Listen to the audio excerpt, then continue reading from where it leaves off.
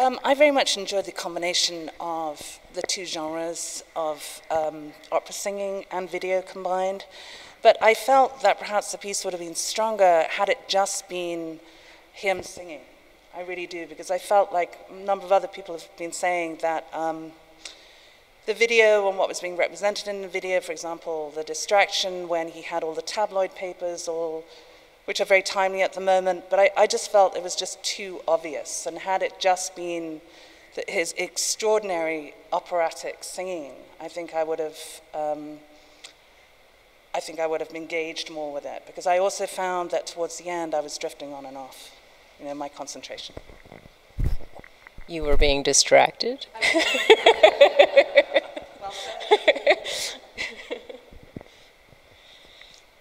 I, uh, like you and like you, my um, initial sense was we're being given the same method, the same message in an almost identical manner over and over and over again. And, um, but I, I have to say with, you know, hearing the discussion, maybe I, I was being asked by the video to look for depth myself a little bit. Um, and uh, one thing that struck me that you guys haven't already mentioned, you guys have mentioned wonderful things, was I found myself thinking about actors and acting. I mean, just at face value, here's a guy lying on the floor eating chips and laughing, and here's the same guy doing this glorious thing. But the guy lying on the floor eating chips and laughing is acting a role at that moment. Um, and he may be, therefore, investing that role that he's acting with as much depth as the role that he's acting when he's singing. But to what effect? I mean, what is the end result of that? Uh, How do you perceive that end result? Right. How well, does it affect us? for, for me, that's one of the first places where I find myself saying, oh, oh okay, I, I, I have actually been challenged to consider something um, that's not just uh, on the surface of this, of this video, that's not completely obvious. Yeah. I, am also thinking ahead to the, uh, the people who will see this on YouTube. And I think it's very different to see this here in this space with everybody and with my friends and with people that I just met and possible conversation afterwards. Um, and then seeing it by myself uh, on, a, on a computer screen, that, that's a very different experience uh, uh, for me of, of, exactly how engaged I am on what, on what, in what registers I'm engaging.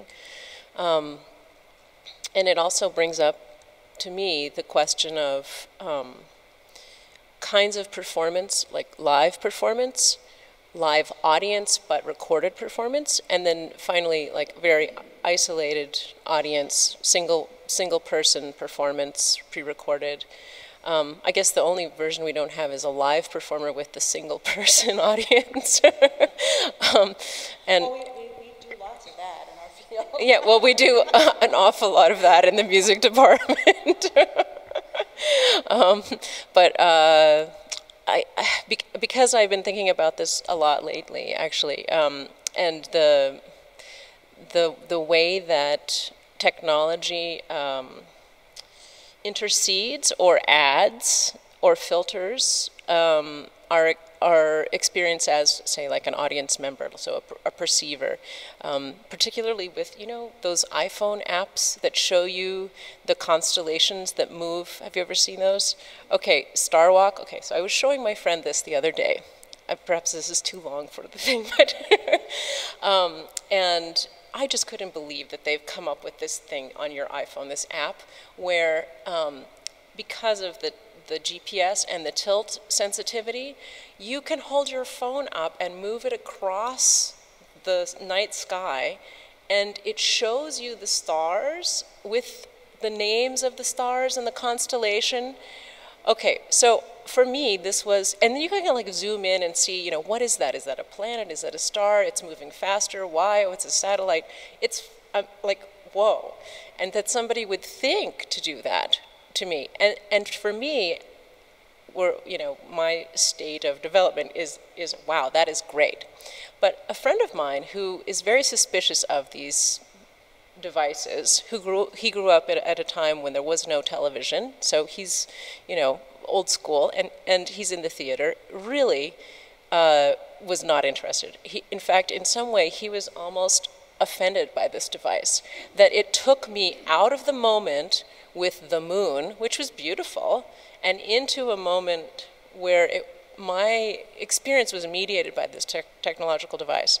Okay, so, so, I mean, obviously, like as performers, we have this kind of bias towards liveness, and, and I think liveness and, and recreation of humanity right now is a very important topic for human beings um, because we're coming into contact with all this technology. But something like this, it did, um, in, if, if, you guys weren't here, I would have had a, a very different experience of it. Like I would have probably not engaged with my humanness, whatever that is, in the same way that I, that I would because you guys are here.